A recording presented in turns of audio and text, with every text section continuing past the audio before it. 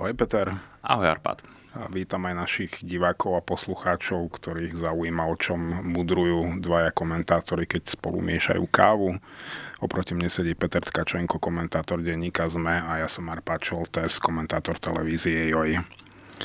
Máme napriek najnudnejšej e, koaličnej a vládnej kríze e, v dejinách našej malebnej krajinky e, celkom výživný týždeň, by som povedal. Sice sa to deje všetko v intenciách tej e, zabrzdenej nudy, ale je to zábavné.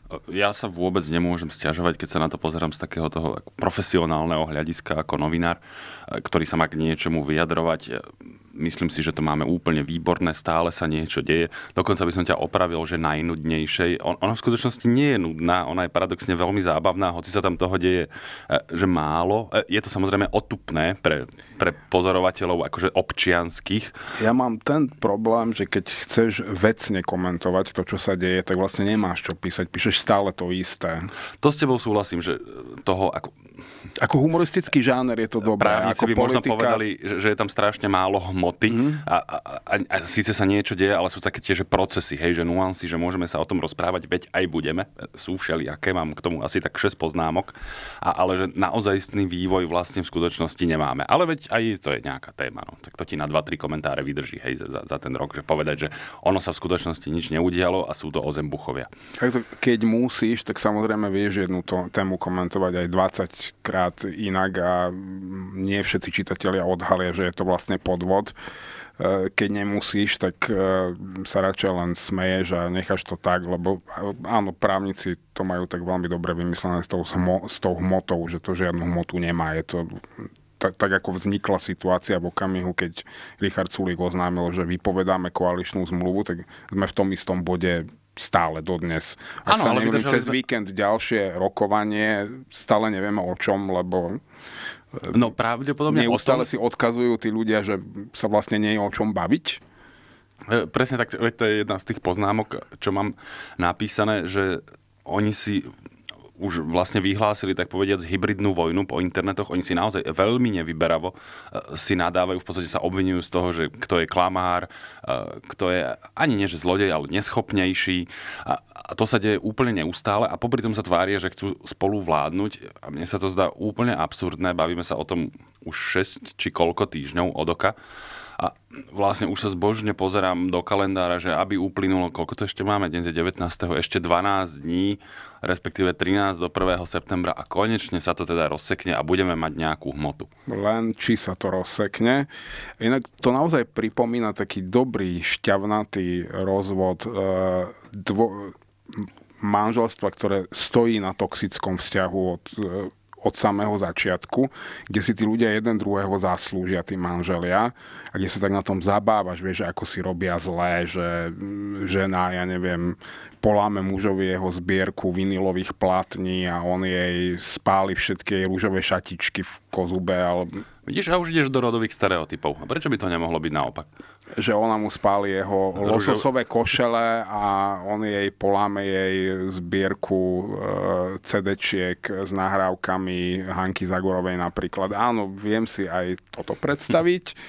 Ale je, je to zábavné svojím spôsobom a im to praješ, že v podstate netrpíš, keď si oni robia navzájom zle, lebo sa vždy tešíš, keď To napríklad vôbec netrpím, musím povedať, áno. Uh, len títo ľudia by mali riadiť krajinu. E, čiže ten rozvod by bol, nám všetkým by pomohlo, keby bol taký, že rýchly, efektívny. Ja by som dokonca povedal, že je to ich povinnosť. Neviem teraz, či si to manželstvo e, tak náhodne spomenul, lebo teda to je tiež jedna z vecí, ktorú Igor Matovič akože odkázal, ani nie, že Richardovi Sulíkovi, ak som to pochopil, ale že verejnosti, keď prirovnával ten vzťah presne, že k manželstvu a teraz tam rozoberal, na koho strane je vina a ja som na to zase pozeral jak blázon, že to je buď akože absolútne nepochopenie, alebo alebo snaha proste zmanipulovať publikum. Veď... Možno vychádzal zo svojho manželstva, to nevieš. Že to je úplne jedno, čo je koho vina. On tam presne chcel nejakú pomaly, že anketu zasa robiť, hej, že či majú alebo nemajú byť spolu. Ja na to pozerám jak blázon, no tak že... Dobre, že manželstvo rozvádza súd, ale že bavíme sa o tom akože že partnerstvo. No a keď niekto v tom partnerstve byť nechce, tak je úplne jedno koho, čo je vina. Proste normálne, že však sa rozídeme, vybavené. Tu je ten problém a preto som vyťahol to manželstvo, samozrejme inšpirovaný týmto statusom Igora Matoviča, lebo za normálnych okolností o tom rozvode manželstva rozhodne súd, alebo po prípade ešte môže byť nejaký pokus o mediáciu, kde je nejaký mediátor profesionálny, ktorý sa to nejak snaží dať dokopy, alebo sa robí nejaká rodinná terapia alebo párová terapia s nejakým psychologom alebo psychiatrom, ktorý sa ich pokusí nejak dať dohromady. Lenže ty tu nemáš ani súdcu, ani mediátora. No, mne sa zdá, rozvod som neabsolvoval a, a dúfam, že ani nikdy absolvovať ja ani sobáš, nebudem. Čiže ja len tak mudrujem, čo viem od kamarátov. Ja skôr to, čo som videl akurát tak v súdnej sieni, ja sa musím priznať, že som pomerne akože veľký fanúšik tej relácie, neviem prečo, proste toto vydržím fascinovane pozerať celé hodiny. No a, a tam sa mi, tam teda rozvody sú a zdá sa mi, že tam rozoberajú niečo, akože či to manželstvo plní svoju spoločenskú úlohu. Takže keď už sme teda v tejto analógii, no, keď sa pozriem na tú koalíciu a položím si otázku, či plní svoju spoločenskú úlohu, tak si odpovedám, že nie. E, dokonca sa mi zdá, že je taká nejaká formulka na to, že vzťahy sú trvalo rozvrátené a niečo také. To by som povedal, že áno. Takže už proste nech sa to vybaví, nech to utrpenie je vyriešené, nie? Áno, no vyše v niektorých prípadoch môže byť problém, keď sa nájde súdca, ktorý sa zatne a nechce rozviesť manželstvo. E, tuto v Bratislave sa rozprávajú také tie meské legendy o jednom súdcovi, ktorému to kedysi zachránilo manželstvo, že mu dali nejakú lehotu a on s tou manželkou zostal dodnes. A teraz pomáha On, on veľmi nerád rozvádza manželstvo a snaží sa im týmto spôsobom pomôcť. A to, to je naozaj peklo potom v tých domácnostiach nerozvedených ale nerozumiem, prečo si to títo ľudia robia sami. Hoci momentálne Igor Matovič sa vlastne stavia do polohy takého toho manžela, ktorý síce gambloval, slopal, sem tam, sem tam prefackal manželku, zmlátil deti, že nespráva sa v tom vzťahu úplne ideálne, ale on vlastne ten rozvod nechce, pretože mu nebude mať kto prať ponožky, nebude mu mať kto navariť. Ale zároveň je s tou ženou extrémne nespokojný, nadáva jej, že škaredá, nezodpovedná, Nestará neschopná. sa o seba, veď preto ju bije, lebo je a, a taká. mláti ju a, a huláka pritom na ňu, buď so mnou, ty svinia jedna nevďačná. To sa mi zdá že veľmi zvláštne a, a ešte vlastne, no, že nemá... aká časť publika mu, mu to dokonca dokáže žrať. No tá, ktorá má možno doma ženu, ktorú neznášajú, ale návaria operie. No, dobre, tak sme si akože e, požartovali v tomto a ešte by som e, vytiahol nejaké veci, ktoré som si e, zapísal k tomu k, tomu, k tým procesom. Ja dodám, že áno, následky v prípade tohto konkrétneho manželstva e, Igora Matoviča s Richardom Sulikom sú závažné pre nás všetkých. Dostaneme sa k ním. Sme v postavení ich nezaopatrených maloletých detí. Lebo za ten týždeň sa stalo, neviem, či si videl, bolo také vystúpenie Borisa Kolára v televízii v nedelu, ono sa to nahrávalo už v piatok, ale e, my sme to videli v nedelu, kedy neviem do akej miery čo všetko hral, ale myslím si, že tam bol aj nejaká miera divadelníctva, kedy sa tak expresívne vyjadroval o, na Margo tej koalícii, ako nefunguje a že teda ak sa to má rozsypať, tak poďme rovno do predčasných volieb, lebo proste nebudeme mať nejakú agóniu s menšinovou vládou. On sa aj dosť hneval ako keby na tých poslancov za Oľano a za ľudí, ktorí nechcú byť e, v koalícii s tými kúfami a podobne. To bolo podľa mňa veľmi zaujímavé. No a potom máme také, také kuriozitky. Bolo to rokovanie, myslím, že na Bôriku v piatok, ktoré sme my akože nevideli, lebo bolo vlastne po našej relácii. No a prišla Veronika Remišova s takým nápadom, že ak teda ten Richard Sulík chce odísť z koalície, tak dobre, môže, môže odísť, ale až po zime.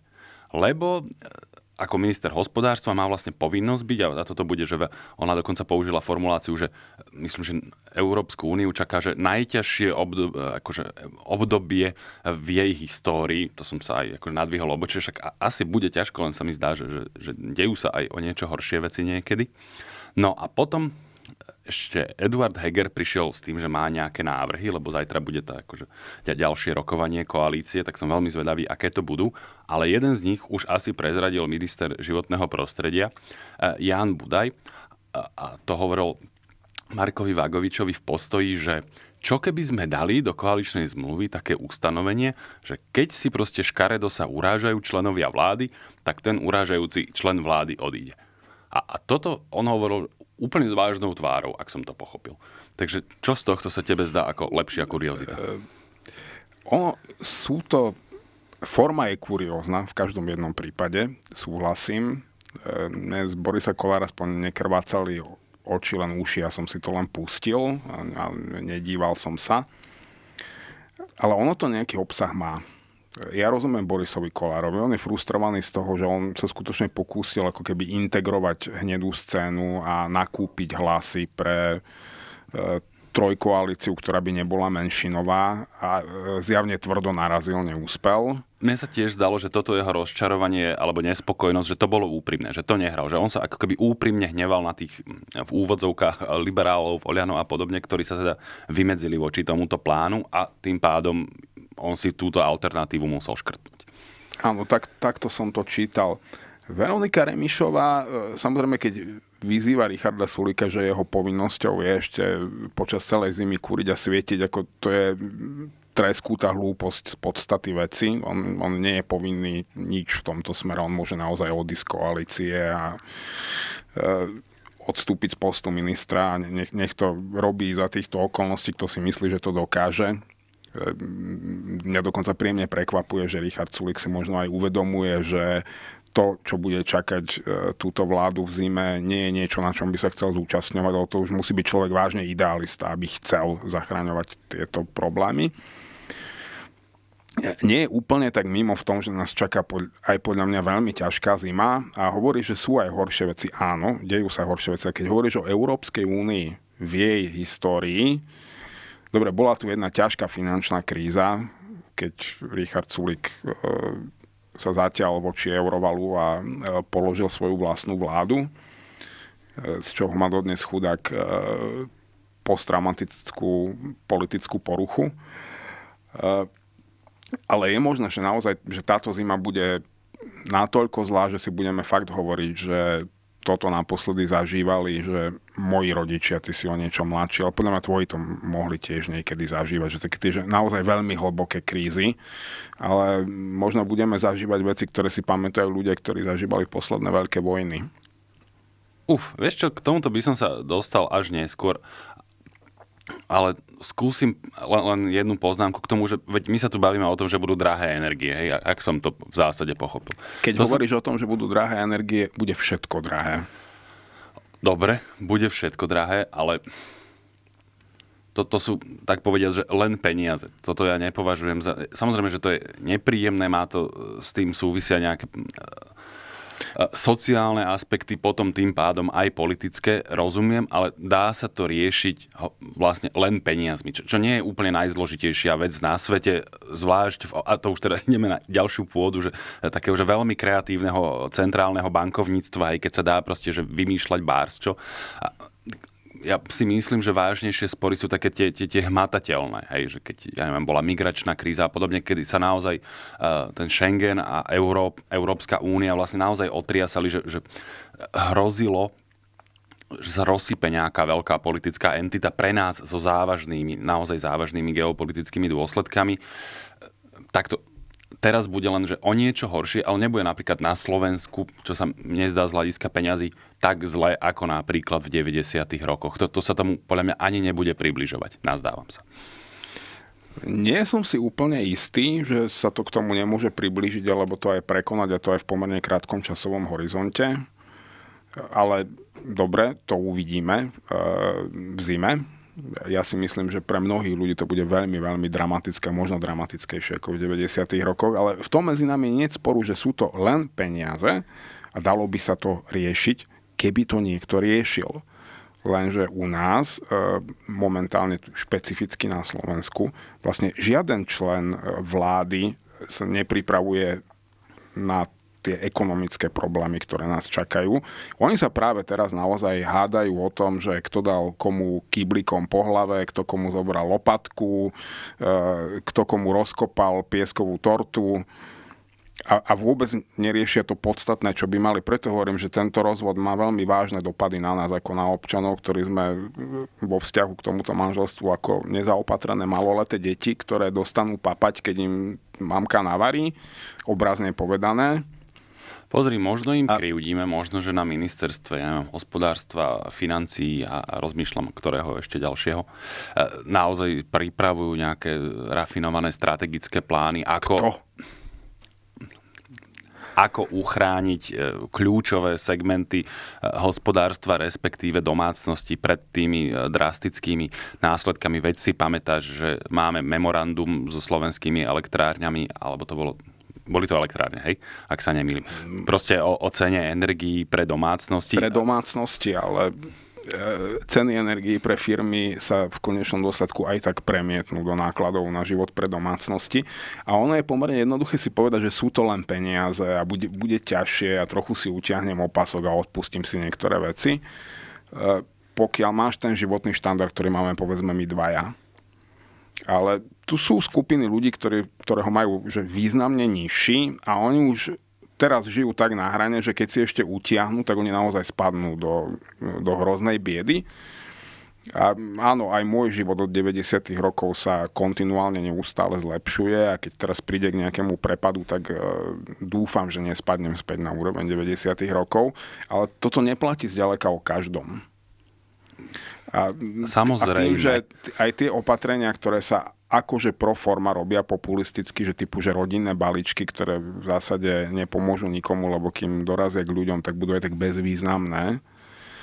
E, to, to nepomôže nikomu a aby sa tu vymýšľali nejaké systémové opatrenia, ktoré pomôžu nejakým spôsobom ako keby kontrolovať následky toho, čo príde, to ja nevidím nikde. A predstav si naozaj, že ľudí, ktorí budú mať Vianoce bez darčekov, e, v bytoch, ktoré sa im budú zdať studené, pretože u nás je my sme si tak zvykli, že vykurujeme Pod 23 na... stupňov už je to ako áno, že pod zima. 23 stupňov mrzneme. E, áno, žil som nejaký čas v Nemecku, prvá zima bola pre mňa krúta, pretože v interiéri bolo nejakých 17-18 stupňov a ja som si musel zvyknúť, že v zime sa aj v interiéri chodí v pulovri a bola mi ukrutná zima, kým som si na to nezvykol, potom som skoro skapal, keď som sa vrátil do nášho košického bytu, ktorý bol vykúrený na 26 alebo nejaké podobné absurdné číslo. A výhoda je, že keď je zima, tak sa oblečem, keď je teplo, neurobím s tým nič. E, budú si na to musieť ľudia zvyknúť a oni si časom aj zvyknú, aj dokonca možno, že mnohí to začnú mať radi, že je to príjemnejšie v tej chladnejšej domácnosti ako v prekúrenej, ale ten psychologický následok toho, že sedím pri štedrovečernom stole, na ktorom možno nie je všetko, čo som tam chcel mať, pod tým stromčekom nie sú darčeky a je mi zima, to môže viesť podľa mňa, že k veľmi škaredým procesom spoločnosti, keď na to, v náväznosti na to, keď ešte prídu nejaké predčasné voľby, aby sa nám nestalo, že budú v parlamente len tri strany. Myslím si, že si mi pekne nahral na to, aby som premostil, lebo to, to s tým naozaj dosť integrálne súvisí cez týždeň nás dosť, aspoň ja som sa naozaj zlakol, keď som zbadal na Facebooku to video Roberta Fica s Milanom Uhríkom. Nie, že by to bolo niečo politicky strašne nečakané, ale, ale bol to taký výrazný symbol toho, čo nás čaká, alebo čo nám hrozí, aby som... Aby je som... iné o tom vedieť a je iné to takto vidieť. Presne, takto to mať, mať priamo pred sebou, kde teda Robert Fico proaktívne ďakoval Milanovi Uhríkovi, predsedovi strany Republika, za to, že pomohol zozbierať podpisy pod to ďalšie e, druhé referendum o preča- to nebolo ani o predčasných voľbách, ale o demisii vlády a o prijatí zákona, ktorý umožní e, skracovať volebné obdobie. obdobie v parlamente. No a, a, a správali sa k sebe teda naozaj veľmi družne. Pre mňa to bol nejaký nejaký prielom, lebo oni už si pomáhali v parlamente napríklad pri podpisovaní návrhov a tak. E, Robert Fico už mal také vyjadrenie dávnejšie, že pokiaľ ide o tú stranu republika, že on s ňou nevidí e, vôbec žiaden problém, ale toto bolo ako keby vyhlásenie strategického partnerstva alebo niečo také? Myslím si, že to bol veľmi silný uh, politický signál. Toto sú veci, s ktorými Robert Fico vie veľmi dobre pracovať. Uh, tak ako svojho času skladal hrádzu proti extrémizmu, do ktorej dokázal uvrtať ešte aj Bielobugára tak teraz on skladá hrádzu proti e, demokracii a právnemu štátu. E, jednoznačne vysvietil vedľa seba republiku čím veľmi jasne odkázal Borisovi Kolárovi, že nie, nebudeš to ty, kto tu bude integrovať hnedú, scénu. A Ja by som ho v tomto nepodceňoval, pretože naozaj Robert Fico je ten človek, ktorý kompletne vytuneloval e, celú ľavicovú politiku na Slovensku a dokázal ju združiť v podstate, že v superkapitalistickej strane oligarchickej. E, nevidím dôvod, prečo by nedokázal vytunelovať aj práve túto hnedú kresťanistickú scénu, keď na to príde nejakým spôsobom. E, lebo to nie sú ľudia, ktorí by... Oni síce sú praví veriaci v tých svojich ideologických rovinách, ale oni vedia byť veľmi pragmatickí, že ak, e, ak im Fico dokáže dať to, čo oni chcú, tak podľa mňa oni nakoniec pôjdu nejakým spôsobom aj s ním. Minimálne veľká časť z nich. Ešte tým, ako celá táto súčasná garnitúra zlyháva, ak bude tá zima len z jednej štvrtiny taká zlá, ako si myslím ja, že bude, tak je podľa mňa nenulová šanca, že žiadna zo strán, ktoré dnes tvoria vládnu koalíciu, alebo ktoré tvorili doteraz vládnu koalíciu, nebude v Národnej rade. Toto by som sa aj stavil, že ti nevíde. Záleží, aký kurz by si na toto vypísal. Viem, ako to myslíš, e, veď myslím si, že strana za ľudí, tam sa nemusíme e, moc o niečom e, rozprávať. Boris Kolár, ten to má tak na hrane, tam strašne záleží. On je veľmi na hrane. A, ako zahrá túto krízu, komu sa podarí e, prišiť vínu za, to, za jednu za tú politickú krízu, ale aj za tie hospodárske ťažkosti, ktoré nás čakajú. Niečo veľmi podobné asi platí pre Oľano. Akurát mne sa zdá, že SAS, neviem si celkom realisticky predstaviť, že kam by sa e, rozutekalo toľko voličov, aby oni spadli pod hranicu voliteľnosti. E, súhlasím, SAS má určite lepšie šance ako všetci ostatní. Bude veľa závisieť od toho, ako to bude Richard Sulik schopný zahrať. E, lebo v tomto okamihu strategicky najlepšie, čo by mohol on urobiť, a, to mohol urobiť už dávno, naozaj prísť do paláca s demisiami, sadnúť si do parlamentu a vyčkať na ten okamih, keď začne byť naozaj zle. A, a to treba veľmi dobre odhadnúť, veľmi presne načasovať. A keď v tom okamihu, keď máš štát naozaj že na hranici že už reálneho kolapsu, sa postavíš, alebo aj počkáš, kým sa to už tak zľahka preklopí cez tú hranu, ale ešte to úplne nepadne na držku, aby si potom mal čo pozbierať zo zeme. A vtedy dáš návrh na odvolanie vlády a vtedy už úplne jedno, s kým hlasuješ. Už sa ti za to všetci poďakujú a, a ty budeš ten hrdina, ktorý položil tú šialenú vládu. Teraz na to ešte môže byť prískoro, lebo ak, e, ak sa o to teraz pokúsia zlyha a budú voľby v riadnom termíne, tak e, pri tom, ako ďaleko zvykne siahať pamäť slovenského voliča, sa to ešte môže obrátiť aj proti nemu reálne. Vieš, trochu sme odbočili od toho uhrika, ale veď vrátime sa k tomu potom. Ja si nemyslím, že, že Richard Sulik potrebuje alebo chce dávať návrh na pád vlády, respektíve e, vyjadrenie nedôvery premiérovi. Kľúčové je podľa mňa hlasovanie o predčasných voľbách a ak k nemu vôbec dôjde. SAS vytrvale vraví, že oni tie predčasné voľby nechcú, ale podľa mňa toto je vlastne aj chyba. Oni sa zase zahnali trochu do takej čudnej pasce, tak ako ešte na začiatku vlastne koalície, keď Richard Sulik vravil, že oni vlastne za žiadnych okolností z koalície neodídu, toto nechápem, ako môžeš také niečo povedať. Tak aj teraz, keď vedie logické, ak vláda stratí väčšinu, respektíve bude naozaj v hlbokej menšine, čo sa môže pokojne stať, tak potom sú predčasné voľby predsa logické a nevyhnutné riešenie a, podľa mňa si to v nejakej fáze uvedomia aj v SAS. Čiže podľa mňa to kľúčové hlasovanie je, je o predčasných voľbách, nie o dôvere alebo nedôvere vlády. Ono to môže nejako spolu súvisieť. Predčasné voľby najľahšie aj legálne čistým spôsobom dosiahneš tým, že vyslovíš nedôveru vláde a parlament už nebude schopný vygenerovať novú. Takto sa nikdy predčasné voľby na Slovensku nerealizovali a podľa mňa ani tentokrát sa tak Mohli nebudú. by sa. Mohli by je sa, to, akurát... je to ústavne čisté riešenie. Akurát je to otrava, to by si musel naozaj že niekoľko pokusov mať o zostavenie vlády, ktorá nezíska dôveru, čo logicky trvá proste celé mesiace. Nemusí nutné. Oh, ak, e, ak všetci zúčastnení hráči pochopia, že toto je najčistejšie riešenie, myslím si, že tam sa dá ísť do tých predčasných volieb. Ak všetci zúčastnení rýchle. pochopia, že najčistejšie riešenie, tak schvália zákon o skrátení volebného obdobia 90 hlasmi a majú to vybavené za 1,5 dňa, aj keby museli akože niekoľko čítaní robiť. To, to naozaj nebudú vymýšľať. Tiež riešenie, ale teraz naozaj hovorím o technikáliách. E, naozaj sa bude hrať o to, že čia to bude vina a čia to bude zásluha. Asi tak, to súhlasím. A, a a aj o to, že ako to bude, ale bude sa hrať aj o to, že ako to bude volič to času, e, v čase volie vnímať, že či to bola vina alebo zásluha. Toto bude kľúčové. Čiže ty musíš odhadnúť veľmi správny moment, kedy to už môžeš spôsobiť tak, aby to bola tvoja zásluha a nie tvoja vina. No a teraz e, je šanca vrátiť sa naspäť k tomu Ficovi a Uhríkovi. Oni naozaj je zjavné, že ich spoločným záujmom je napríklad e, samozrejme po ďalších voľbách e, sa chytiť vlády. Je zrejme, že by to boli ochotní robiť aj spolu, aspoň Robert Fico zjavne tú ochotu Určite, prejavuje.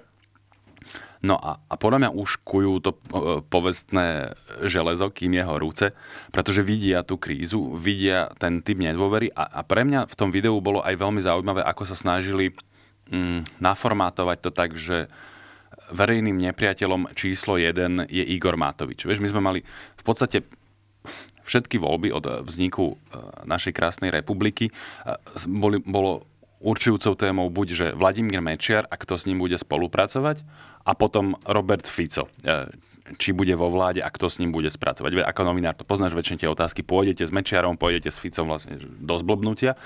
No a oni, a to sa nám nemusí páčiť, ale proste tak to je. No a oni sa snažia, aby to tentokrát bolo ako keby o Igorovi Matovičovi. A aby, aby aj tí ľudia akože rozmýšľali, že ale tomuto ja to nebudem dávať, lebo poprvé je kontaminovaný Igorom Matovičom, napríklad účasťou vo vláde, čom sme sa tu teraz rozprávali. A po druhé, čo keby bol ochotný s ním ešte aj vládnuť? Vieš, že on vlastne by mal byť ten pária slovenskej mediálnej scény, e, mediálnej, politickej.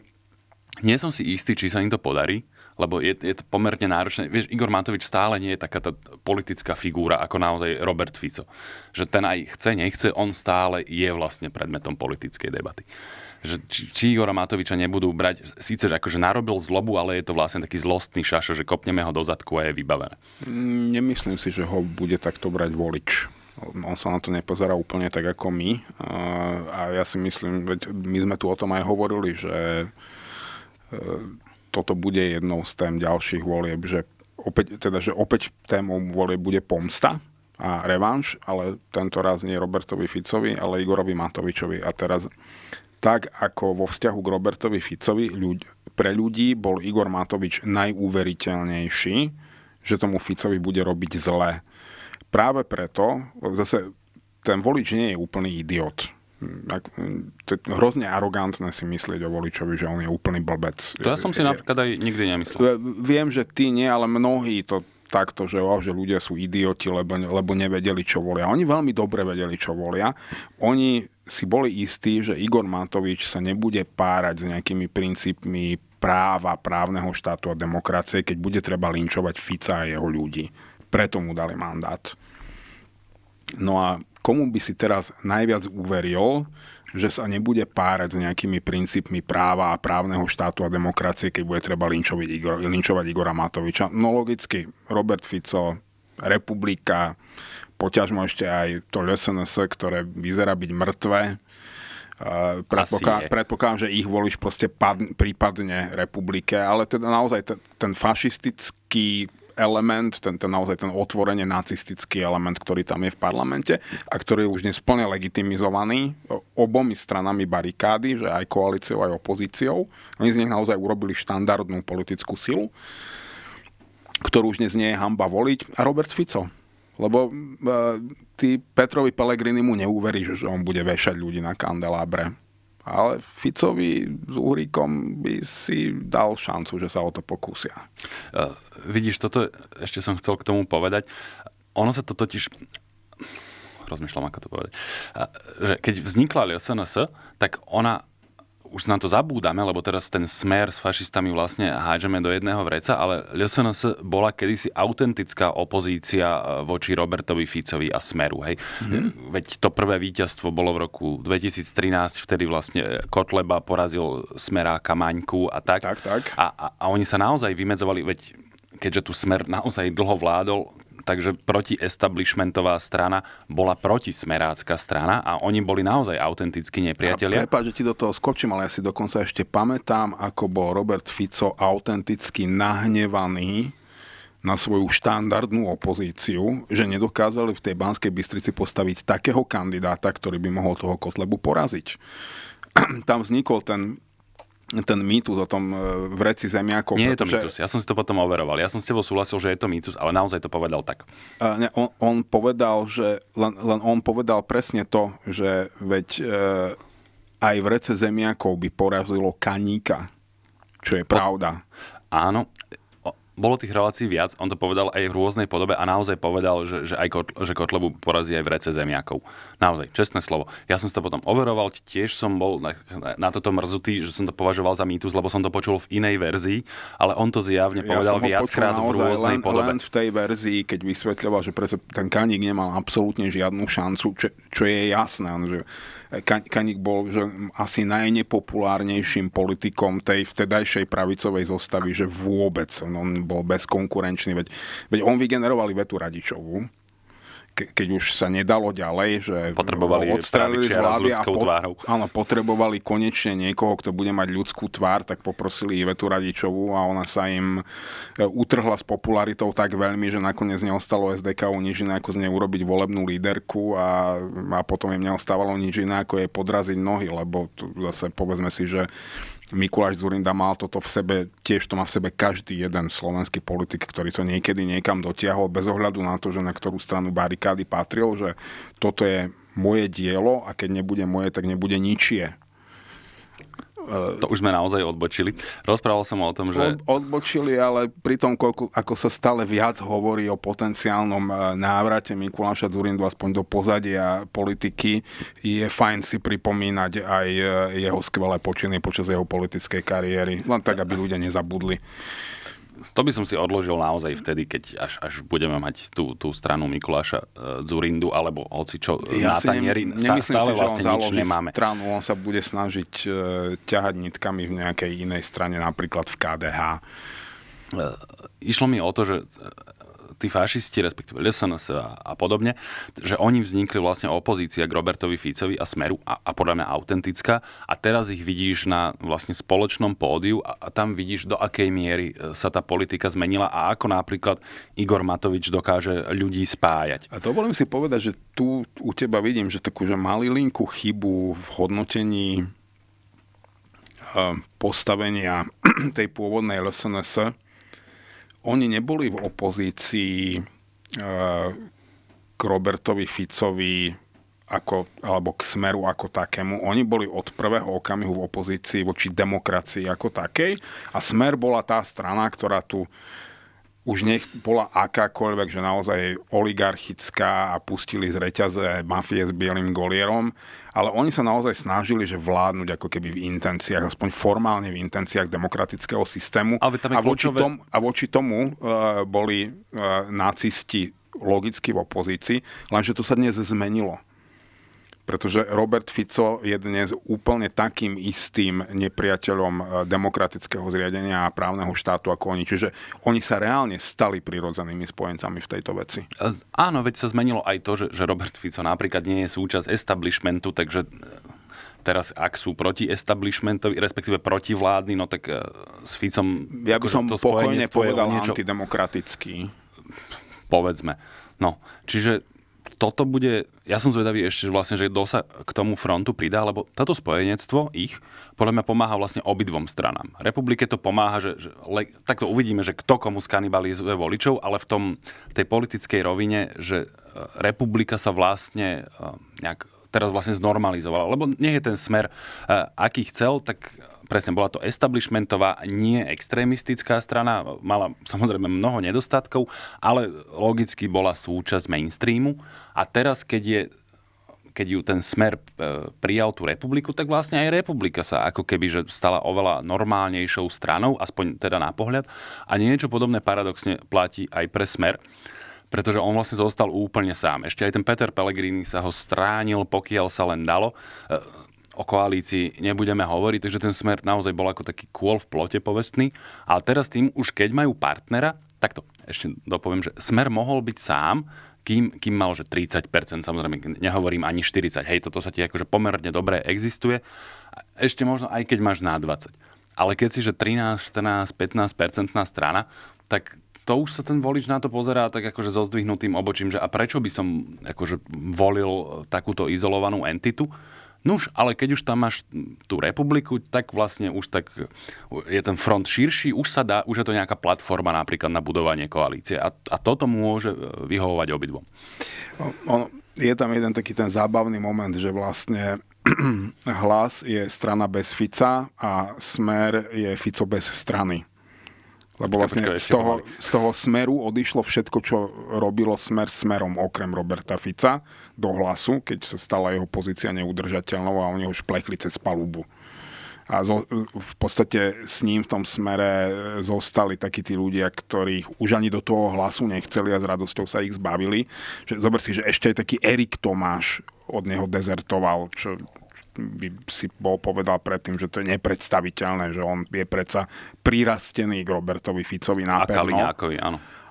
Čiže zostali s ním len ľudia, ktorí naozaj už nemali kam, že boli úplne zúfali, plus Robert Kaliňák, ktorý Ešte je s ním podľa mňa... Jaroslav Baška bol taký, že on ho teda záujem bol, viem, že aj v hlase a tak, ale teda on sa rozhodol pre, pre cestu lojality. Myslím si, že on bude znova napríklad zvolený za šéfa VUC. Nehovorím, že to je nejaká veľká, ťažká politická váha, ale proste nejakú má. Takže chcel som povedať, že je tam jeden taký ako keby ešte jeden perspektívny politik, taký akože normálny v zásade ešte v smere je. Ale v zásade je to naozaj tak, že máš stranu bez lídra a lídra bez strany v tomto okamihu. A ja si myslím, že Robert Fico si naozaj ako keby začína, že znova budovať e, to isté, čo sa mu podarilo urobiť s ľavicou svojho času keď on mal pocit, že ho opomenuli, sklamali, nepomohli mu naplniť jeho ambície a on si založil vlastnú stranu na zelenej lúke a v podstate vytuneloval celú slovenskú ľavicu. Veľmi šikovne, ako, tam sa on ukázal ako schopný politik. A poďme sa pokúsiť to isté zopakovať dnes e, s hnedou scénou. A tam som sa chcel dostať, že na jednej strane máme teda spojenectvo Roberta Fica e, s republikou na báze toho, že sú antidemokratickí a potom tu máme druhú stranu politickej barikády, e, ktorá sa vlastne začína profilovať úplne rovnako antidemokraticky. A že z čoho si my potom budeme v tých voľbách vlastne vyberať. No budeme hľadať ešte tie zvýšky strán, ktoré sú demokratické. Lebo ako sme zistili, e, že pojem liberálna demokracia by už nemal čo hľadať ani vo vládnych dokumentoch, to si pekne premostil. Toto bola naozaj že krásna kauza. Ja to len pripomeniem, lebo možno poslucháči a, a diváci nevedia. Existuje taký dokument, ktorý sa volá Koncepcia rozvoja občianskej spoločnosti. Sú to väčšinou také akože ono to má existovať z nejakého dôvodu, je to dohromady každému jedno, ale teda ten dokument má existovať. Tak sa teraz o ňom neviem, či ministerstvo spravodlivosti ho vlastne pripravilo, alebo kto, to by som vlastne teraz trepal, ale je to v pripomienkovom konaní. Tak sa k tomu e, vyjadrili aj ministerstvo práce, aj generálna prokuratúra a tak a vadia im tam proste slovné spojenie, že liberálna demokracia. Tak už k tomu proste napísali výhrady, že Slovensko sa predsa podľa ústavy neviaže na, na žiadne náboženstvo ani ideológiu, takže pre Boha nemôžeme tam mať slovo liberálna, tak to navrhujú škrtnúť alebo vymeniť za ústavná a tak, čo je trochu úsmevné a trochu desivé. Úsmevné je, ak to čítaš tak, že Milan Krajniak nerozumie, alebo Maro Žilinka, že oni nerozumejú, že čo je liberálna demokracia, že to je to ústavné zriadenie, v ktorom žijeme. Čo si zase ja ani o jednom z nich si nemyslím, že je hlúpy a nevzdelaný. Myslím si, že obidvaja veľmi presne vedia, čo je liberálna demokracia a veľmi cieľene e, z nej začínajú robiť e, obraz nejakej nepriateľskej politickej sily, ktorú treba odstrániť. Áno, toto tomto, je vedomé tom, strategické rozhodnutie z ich tom, strany. V tomto s tebou súhlasím a preto je to aj desivé. Na druhú stranu, že, že si vyberieš akože cestu toho boja cez pripomienkovanie nejakého dokumentu, ktorý v skutočnosti naozaj nikoho nezaujíma a, a je, vieš, že keby neboli nejakí bystrí diváci, ktorí si pozerajú e, návrhy, teda tie, tie výhrady v pripomienkovom konaní, tak by sa o tom vlastne nikto nedozvedel. Ono by to v nejakom e, tom e, konaní buď by to akože, schválili tie pripomienky alebo zamietli a v zásade by to bolo, že každému jedno. Pozri, keby si to náhodou nevšimol niekto bystrozraky v tom pripomienkovom konaní, hoci oni si boli istí, že niekto ten návrh koncepcie písal a že ten niekto sa ohradí a pri najlepšom pošle nejaký e-mail do nejakej redakcie, kde sa toho určite novinári chytia, ale keby nie, no tak poskytneš jeden rozhovor do postoja, že ako si tomu zabránil, alebo... Ako sa nám snažili prepašovať áno, ideológie. Proste dostaneš to ako tému do spoločnosti bez akýchkoľvek problémov.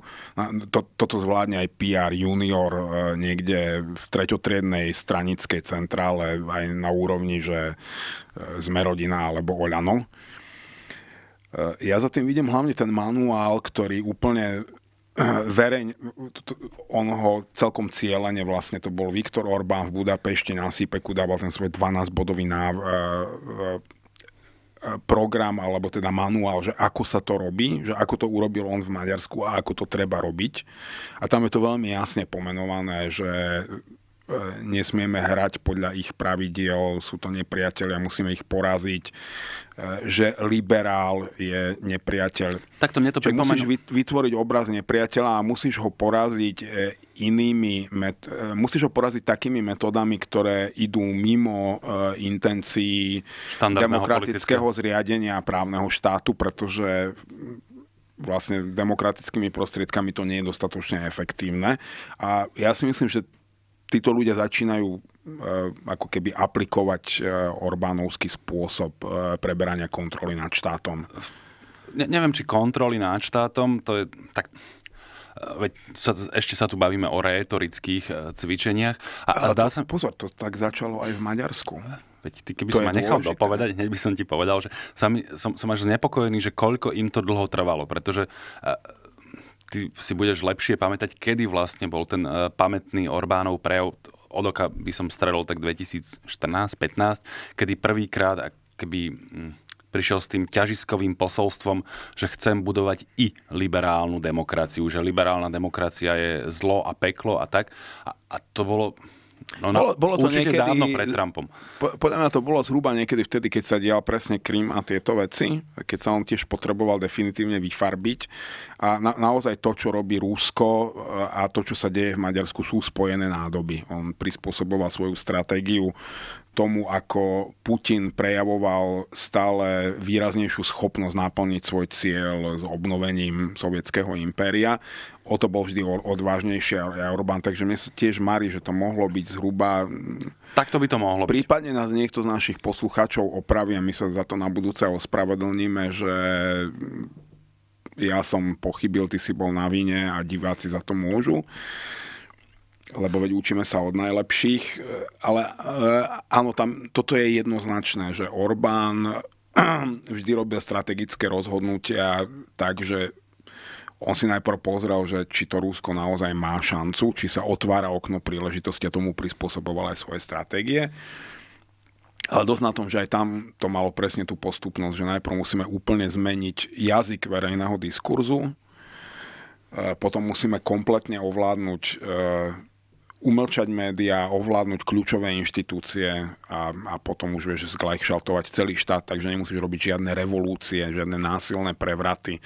Normálne demokratickými spôsobmi zavedieš autoritársky režim. A treba povedať, že v tomto bol veľmi úspešný, veď hmm. preto má zrejme aj toľko následovníkov, ktorým sa to e, tak veľmi páči. A, a možno aj teda preto e, Milan Krajniak je teda následovníkom tej, toho vlastne Orbánovho memoranda. On vlastne vtedy prišiel s takým tým iliberálnym memorandom. A myslím si, že Akurát... ona je v kontakte práve s týmito maďarskými e, nehovorme tomu ako oni, oni sa nazývajú, že konzervatívci, lebo to nie sú konzervatívci, a proste s týmito uh, tota, uh, intelektuálmi uh, totalitného zriadenia, alebo neviem ako ich nazvať, lebo v Maďarsku to, to, tam je ešte fascinujúce to, že u nás veľa týchto ľudí, a teraz tým nemyslím naozaj Milana Krajniaka, ale mnohí títo politickí kresťania sú, sú, sú fakt, že sú veľmi obmedzení, veľmi málo vzdelaní, nemajú dostatočný rozhľad, ne, ne, nemá to žiadnu intelektuálnu hĺbku, čo produkujú. V Maďarsku toto je na úplne inej úrovni.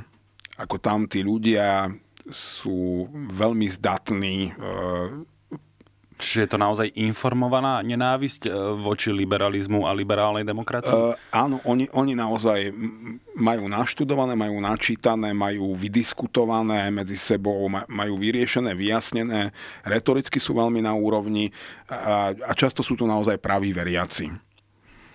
myslím teraz nie kresťanský, ale pravý veriaci takého toho, tej maďarskej verzie fašizmu. A, a mne sa mári, že práve Milan Krajniak aj bol na jednej z týchto konferencií v Maďarsku.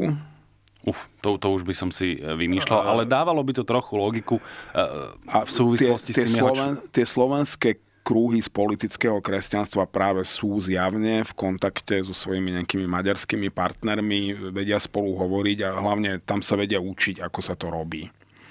A Milan, z Milana Krajňaka naozaj rastie ako keby, že ideológ politického kresťanstva a preto si ja myslím, že on ani, nikto z týchto ľudí nebude, že chorobne fixovaný e, špeciálne na tú politickú stranu, s ktorou náhodou prišiel niekam, že do parlamentu alebo do vlády oni sú podľa mňa dnes už dominantní v slovenskej politike, len sú hrozne fragmentovaní naprieč celým spektrom a naozaj naprieč obomi stranami barikády. Ale keď jedného dňa naozaj príde na lámanie chleba, tak oni budú schopní sa zomknúť. A tak ako sme hovorili o tom, že teoreticky by mohol byť Boris Kolár ten, pod kým sa to nejak zintegruje. To si ty hovorili, ja som hovoril, že to ani teoreticky nie je možné. Ja, ja som si myslel, že práve s Milanom Krajňakom a Vladimírom Pčolinským by to mohol uhrať, lebo som zrejme, že Boris Kolár ako osoba nie. Uh, ale on tam mal nejaké to, to pozadie v tej strane, ako ten odborný aparát, ktorý, však napokon sa o to aj pokúsili, len narazili na Roberta Fica. Lebo jednoducho E, oni nedokázali tým ľuďom dať to, čo im vie Robert Fico slúbiť. Vieš čo, podľa mňa tých dôvodov je naozaj viacej, ale veď dobre, môžeme sa zhodnúť na tom, že ne, Počkaj, nebude sa to, to integ... To je technikália, že v tomto okamihu nevieme nazbierať tie hlasy, lebo keď si vezmeme kufovcov, tak sa nám zbúria nejakí šeligovci.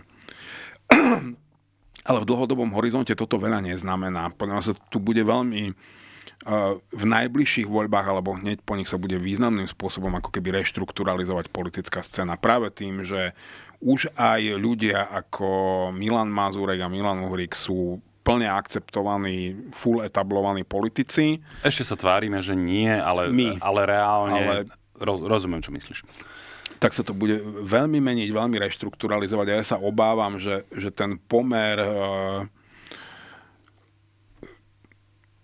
tej hnedej scény k tej, ktorá je ešte nejak, že prozápadne orientovaná a chcela by zachovávať nejakú liberálnu demokraciu, že t- tam ten pomer hnedej je obrovský, že, že to prevalcujú jednoducho. Vieš čo, uf, odbočujeme dosť, ale teda nápadlo mi, že nie som si úplne istý, či bude ten front integrovaný, lebo ako ty hovoríš, tá, tá, tá hnedá je rozliata všade a, a nemyslím si, že oni napríklad budú nutne potrebovať e, Borisa Kolára a, a Sme rodinu.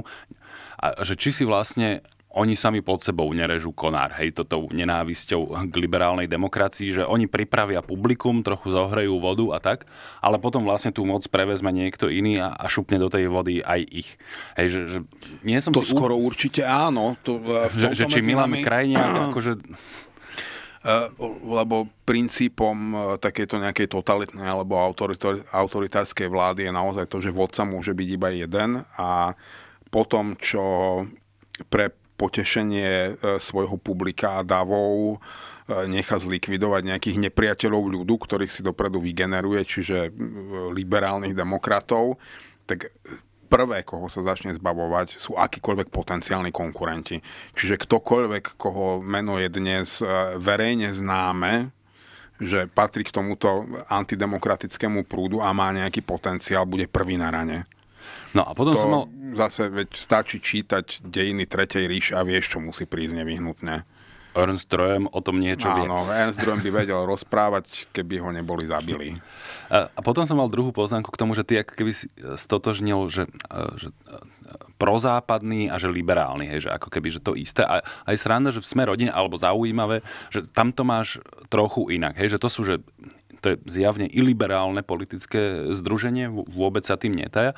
A na druhú stranu, že veľmi prozápadné. Či, či už sa bavíš o, o Milanovi Krajniakovi, prozápadné v zmysle takom tom angloatlantickom alebo angloamerickom. Hej, že oni teda samozrejme Európsku úniu považujú za dosť e, progresivnistický až komunistický projekt, ale ak sa rozprávame o takom tom širšom bezpečnostno-kultúrnom prostredí, tak sú prozápadní. Uh, to platí podľa mňa pre, vedia, pre Milana Krajniaka, byť... aj Pčolinských, aj pre Borisa Kolára. Na, veď si spomeň na, na obrannú zmluvu, on vlastne, neviem, či to povedal oficiálne, alebo sa to ku mne len tak nejak donieslo, že, že tak, keď sme sa tu bavili o tom, že či tu bude, že tisíc amerických vojakov, on, nech ich aj, že 10 tisíc, že mne je to proste, že jedno. On je naozaj, že veľký fanúšik eh, Spojených štátov napríklad. Myslím si, že oni budú fanúšikmi Spojených štátov, pokiaľ v nich bude vládnuť Donald Trump. A možno nechcú byť úplne ako keby, že e, guberniou Ruskej federácie, pretože vedia, že v tom prípade oni úplne stratia akúkoľvek moc a prestanú o sebe rozhodovať. Čiže to, to ešte aj Orbán neustále zdôrazňuje, že NATO je dôležité. Lebo, čo, lebo to je hranica, ktorú ani tá Ruská federácia neprekročí. Eh, zároveň oni by si tu chceli naozaj zaviesť ako keby, že svoj štátik, kde si môžu oni robiť, čo oni chcú a každý bude držať hubu a krok. Eh, im sa páčia peniaze, ktoré chodia zo západu. Im sa páči to, že potom si môžu oni ísť peniaze užiť niekam, kde sa reálne dajú dobre užiť a nechceli by si ich užívať vo Vladivostoku, lebo čo si tam už užiješ, alebo varuj Bože niekde vo Verchojansku alebo v Omsku a na podobných miestach ale oni hodnotovo nie sú e, západní v podstate. Pre, pre nich západ predstavuje, že katolicizmus, áno, to je pre áno, nich západ, tak... Rím, ale on, oni by chceli, e, keď hovoríme o Milanovi Krajniakovi, akože nepochybujem o tom, že jeho ideálnym modelom je naozaj teokratický štát veď to zase akože od Spojených štátov nemá zas až tak strašne ďaleko. Hej, veď tie staré Spojené štáty vznikli ako nie katolícka, ale akože kresťanská výspa, veď majú dodnes ako moto In God We Trust a podobne. Hej, čiže tá, ako tá, tá presítenosť akože Ameriky politickým kresťanstvom je pre nich tiež inšpiráciou. Áno, je pre nich lákav a to hovorím, že oni... No ale to neznamená, že, že si teraz, že protizápadný... Chápeš? Ehm, dobre, ja Západ používam ako niečo, čo je momentálne politicky hodnotovo, že liberálna demokracia je minimálne teda západo-európsky pre, prevažujúci, prevládajúci systém a toto oni určite chcú odstrániť. Pripúšťam, no. Navyše keďže málo kedy pozerajú ako keby za horizont svojej malebnej krajinky pod najmenšími veľhorami sveta, tak im uniká práve ten veľký geopolitický kontext, že možno z nej zase tak veľa nezostane, pokiaľ, bude, pokiaľ by bol schopný Putin naplniť svoje ciele a poťažmo aj Viktor Orbán, tak im tu zostane naozaj nejaké, že bansko-bystrické kniežatstvo. No a možno, že by im to eh, aj eh, stačilo. Zrejme, mnohým áno. Keď sme pri tej Banskej Bystrici, asi by som e, zabrúsil do poslednej témy, hoci sme sa toho už v nejakej e, miere dotkli, ale mohli by sme sa tu nezhodnúť v niečom. E, dozvedeli sme sa, že sa zatvára hliníkáreň v Žiari nad Hronom Slovalko a príde tam o prácu, ak sa nemýlim, nejakých 300 ľudí plus akože ďalších 2 alebo 3 tisíc. 2 až 3 tisíc Myslím, že, že takto sú tie, subdo, sú tie subdodávateľov je závislých od Slovalka, áno. No a neviem vlastne, či to bola nejaká veľká mediálna téma, veď niekoľko článkov sa o tom napíše, keď e, taká relatívne významná fabrika sa zatvára. No a, a keď sme si písali pred touto reláciou, že sa o tom budeme rozprávať, tak ty si teda napísal, že, že to je že prúser a ja, že vieš čo, že, že ja som si že veľmi neistý, či je to e, nejaký typ problému. Podľa mňa totiž a vidíš, môžem e, rovno povedať, že v trhovej ekonomike firmy vznikajú a, a niekedy firmy zanikajú, keď proste nie sú konkurencie schopné na trhu, no a potom zase vznikajú nejaké iné. No a konkrétne Slovalko má ten problém, že žerie 10% e, energie, teda elektriny, aby som bol presnejší, elektriny, ktorá sa na Slovensku vyrobí, no a pri týchto proste cenách e, nie sú konkurencie schopní, tak to proste zavrú a ja vravím, že veď dobre, zostane nám 10% elektriny pre niekoho, to má proste nejaký iný typ výroby a možno nepotrebuje vyrábať Nezostane práve hliník. nám, e, Slovalko ju má nakontrahovanú a predajú za trhovú cenu. No veď áno, to znamená, že bude ju môcť potrebovať niekto a iný. pokúsia sa to pou, použiť na obnovenie výroby, pokiaľ tá výroba bude znova dávať zmysel, pretože oni tú výrobu teraz zastavia, ale oni ešte nezatvorili fabriku. Niekde som zachytil, že iba nábeh tých odstavených e, pecí, v ktorých sa vyrába hliník, že po odstávke, že zhruba 100 miliónov eur sa bude stať znovu rozbehnutie výroby. Ne, ne, nepoznám túto technológiu, trošku čo si viem o, skôr o oceliarstve, keďže som z Košice, keďže som veľmi dlho riešil ako tému ešte VSŽ. Uh, tie vysoké PC, keď odstavíš, tak ty v podstate musíš to vnútro tej PC, čo je podstatné, postaviť na novo, to sa ti celé zničí, keď ju vypneš, keď ju odstavíš. Čiže odstavka vysokej PC sa robí len keď sa generálkuje tak či tak a to sú obrovské peniaze, je to časovo veľmi náročné a potom celý ten nábeh výroby technologicky je veľmi náročný že sú to nejaké straty, budú tam nejaké straty zamestnania, ale mňa ani tak nejde o to. Ide o to, že tam v Slovalku vysvetľovali, že oni aj veľmi veľa investovali do toho, aby boli že ekologicky čo najčistejší a že to sa im aj podarilo a aj preto majú také vysoké náklady na energie.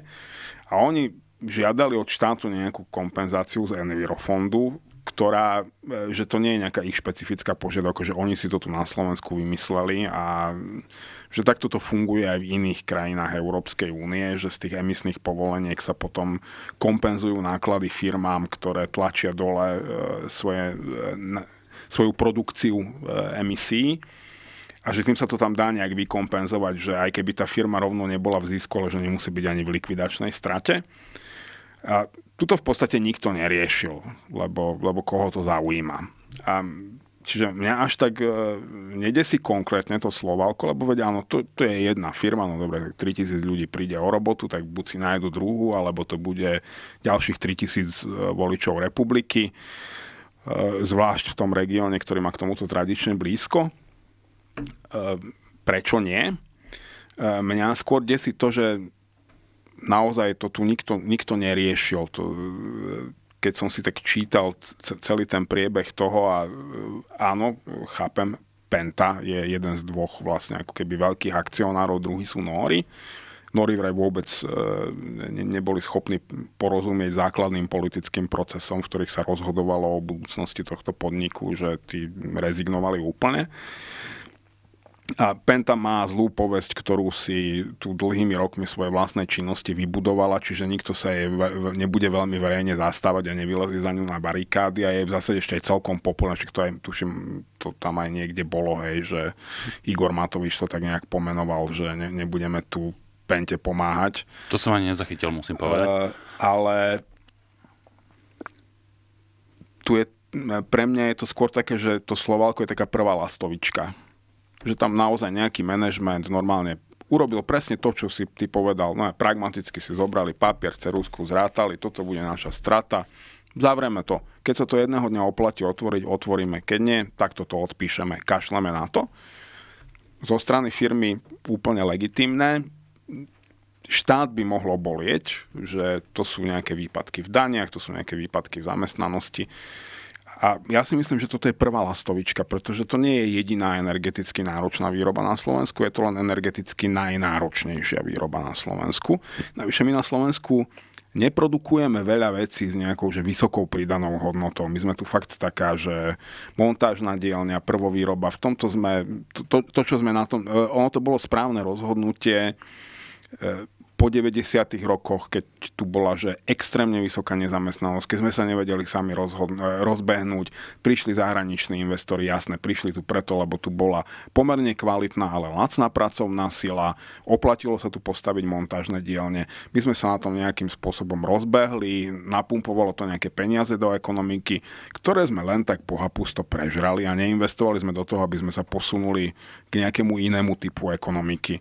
Áno, je tu pár nejakých že začínajúcich svetlých výnimiek, ale my naozaj na Slovensku dnes nemáme že e, vzdelanostnú ekonomiku, e, sofistikovanú.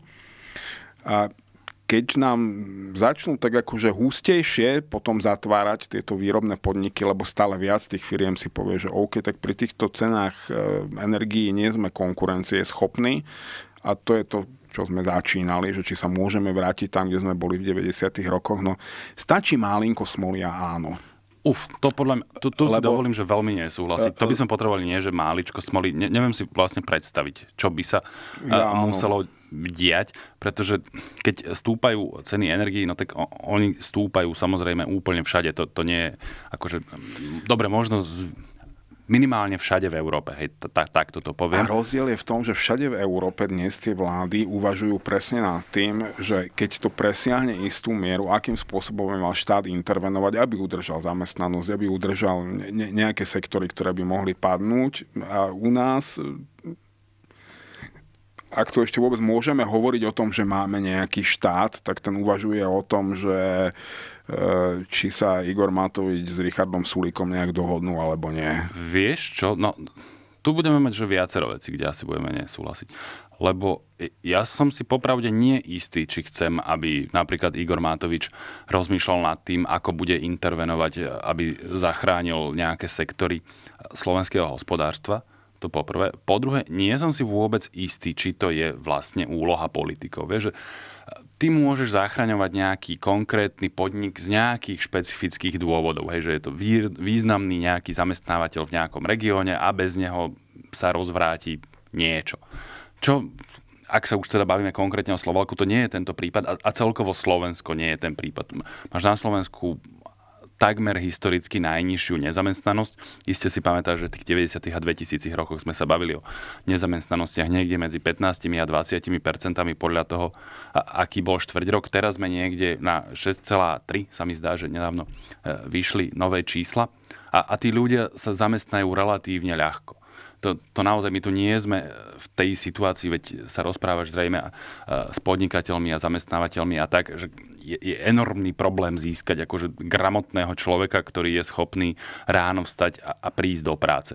To znamená, že aj keby si pozatváral relatívne e, veľa, veľa, veľa firiem, tak tí ľudia si proste tú robotu dnes bez väčších problémov nájdu že to, to nebude tak, že, že teraz bude ako hospodárska kataklizma, že príde o zamestnanie 300 tisíc ľudí. A keby, tak ten štát s tým vlastne nemá moc čo robiť. Hej, že čo teraz štát bude, že prevádzkovať Volkswagen a podobne. No, no nie, nemá ako. A keby ho mal financovať, tak je, je to pre mňa že v rozpore s logikou. Vieš, e, e, podniky sú teda poprvé na to, aby uživili samozrejme samé seba, ale teda oni majú dávať peniaze štátu, ktorý potom poskytuje nejaké služby občanom štát nie je na to, aby on financoval podniky. To, to je zvrátené na ruby.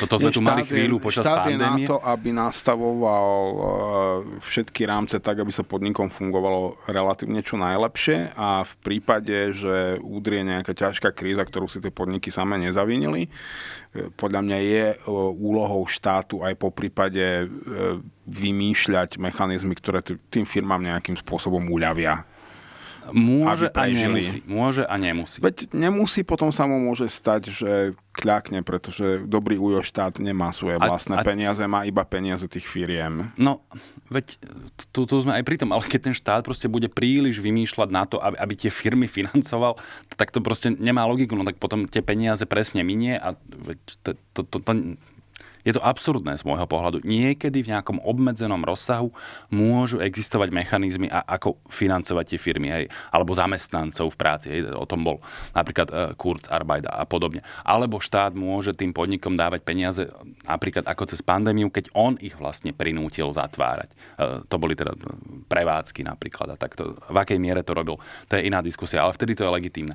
Ale keď nejaký sektor poskytne, uh, postihne systémová kríza, No podľa mňa z logiky veci štát nemá peniaze na to, aby, aby že udržiaval celé hospodárske segmenty.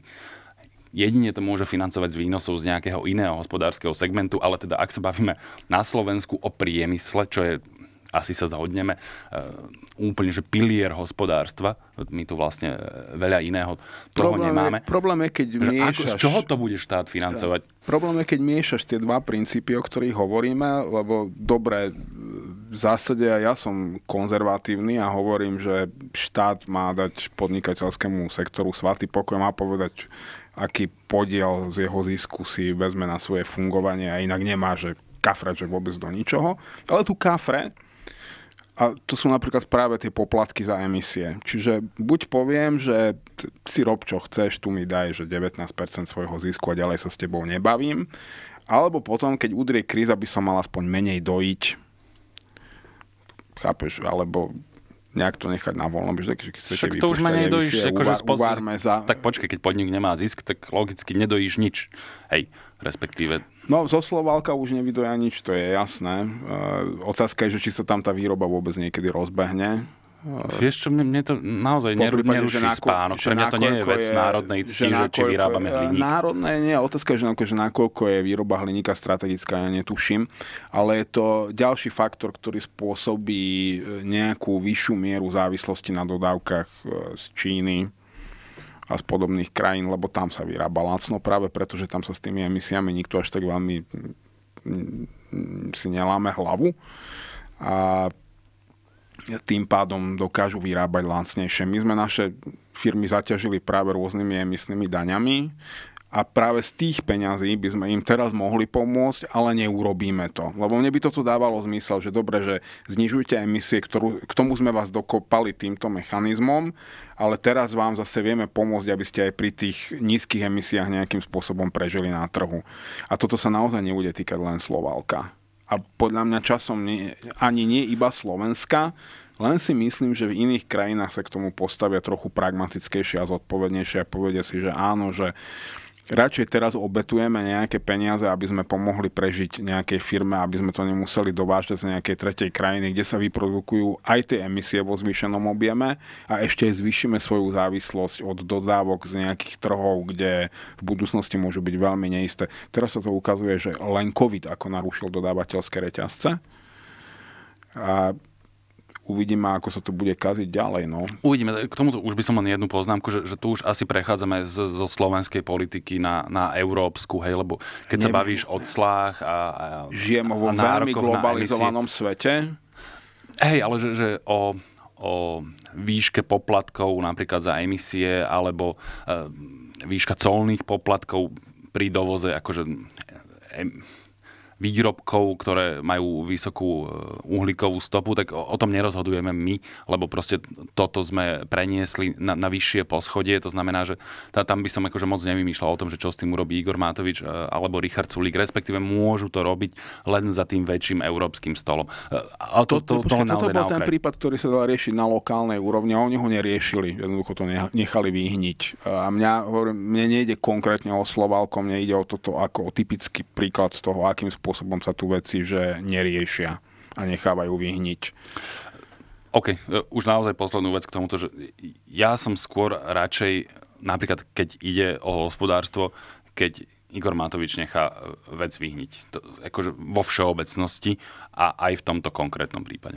Problémom je, že Igor Matovič je minister financí. Ak on nechá veci vyhniť, tak nechá vyhniť Slovenskú republiku, pretože ne, a ty, Ho, ale ty hovorím si, ty v tejto si určite, veci, v tejto konkrétnej ty veci. Ty si určite uvedomuješ, že najsilnejším rezortom v každom štáte je ministerstvo financie. Nie ministerstvo vnútra, nie ministerstvo obrany, ktorým sa síce hovorí, že sú to silové rezorty. Nie. Ministerstvo financí je že najkľúčovejší hráč každej jednej vlády, každej jednej krajiny, okrem nejakých totalitných systémov, kde vodca rozhodne a tak bude, ale kde funguje normálny, že demokratický proces bez ministerstva financí sa nikto nepohne, nikto nič nezrealizuje.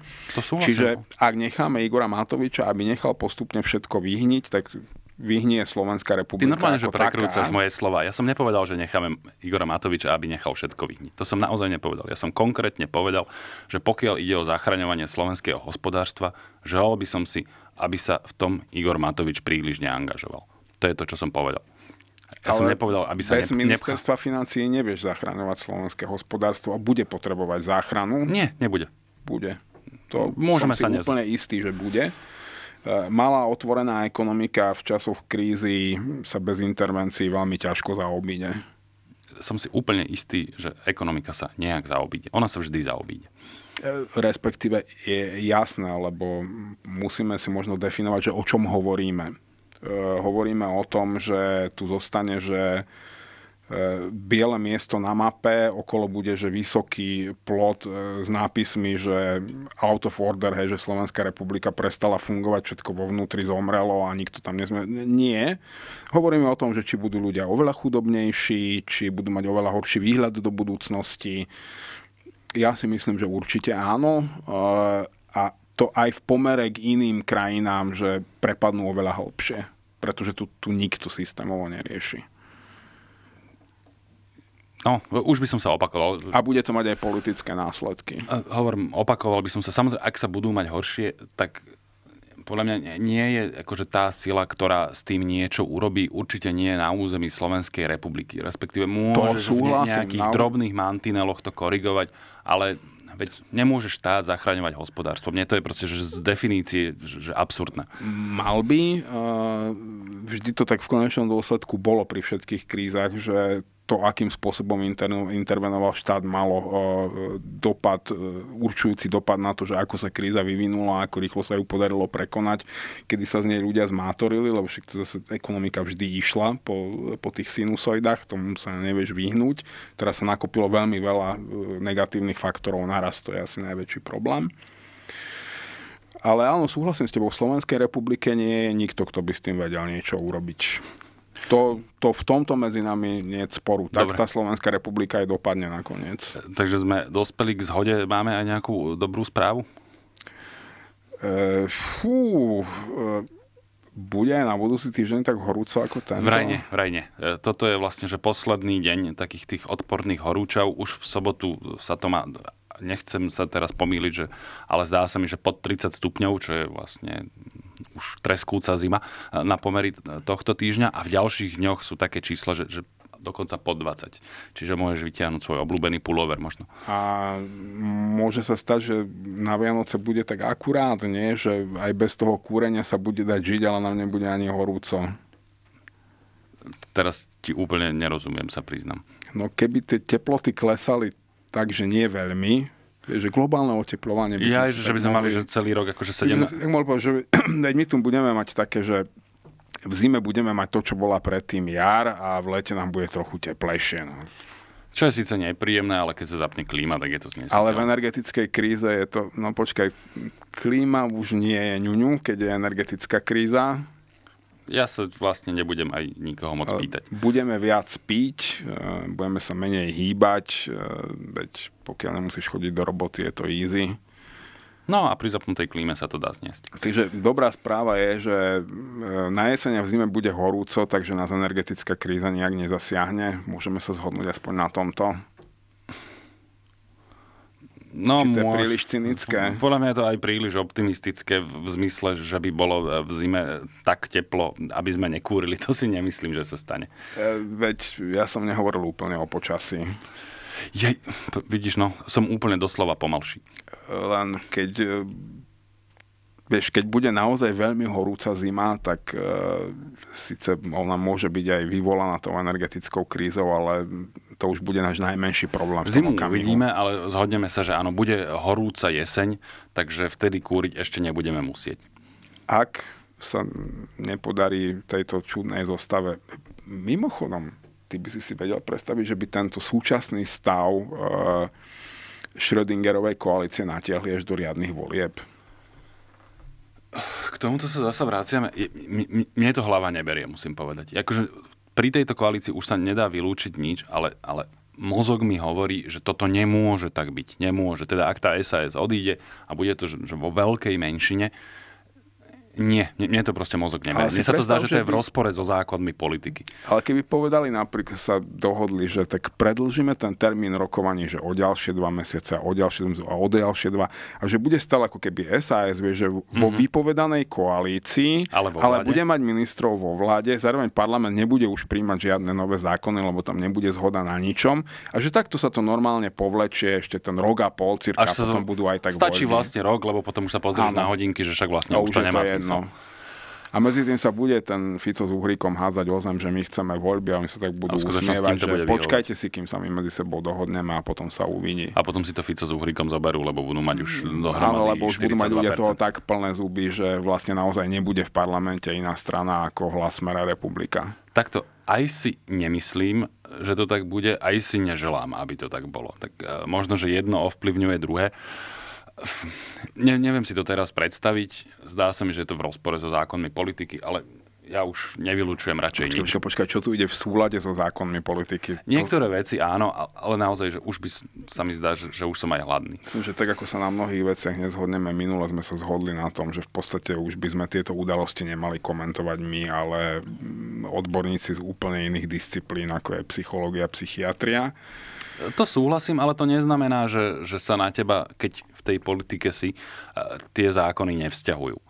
Toto, že im nerozumieš, že o nich nevieš, snažíš sa ich oklamať, neznamená, že sa ťa netýkajú. Ono ťa to podľa mňa nakoniec dobehne. Vo voľbách najneskôr. Najneskôr, ale veľakrát naozaj aj v, tých politických procesoch. Veď preto sa napríklad Igor Matovič e, e, prestal byť premiérom, lebo ho proste dobehli tie zákony. To, áno, otázka je, či on ešte má nejaké politické cieľe, ale to si môžeme nechať na budúce.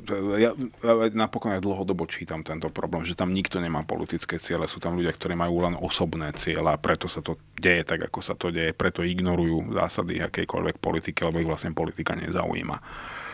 Ale tak my fakt potrebujeme nejakú dobrú správu na záver. Ale my sme sa zhodli, že sa budúci týždeň ochladí, už cez víkend dokonca a potom bude horúca jeseň. Čo by si ešte chcel? Zase nás budú mlátiť po hlave, že tu máme piatkové depresárium. No dobré, tak do, dobrá správa je, že Peter už musí skončiť, pretože ide na obed a ten obed stále má a dnes ešte nezostane hladný a dnes ešte mnohí z nás nezostanú hladní a možno je ešte veľmi málo takých ľudí, ktorí dnes zostanú hladní, takže nech toto je dobrá správa a dúfajme, že na budúci piatoček, keď sa tu opäť stretneme s Petrom, lebo my budeme vytrvalo v piatky mudrovať, eh, ešte pravdepodobne budeme mať stále všetci aj nejaký ten obed. Sice nie je zadarmo za svoje, ale budeme ho mať. Eh, takže ja sa na vás teším aj na budúci piatok. Ja budem opäť celý týždeň ako na ihlách.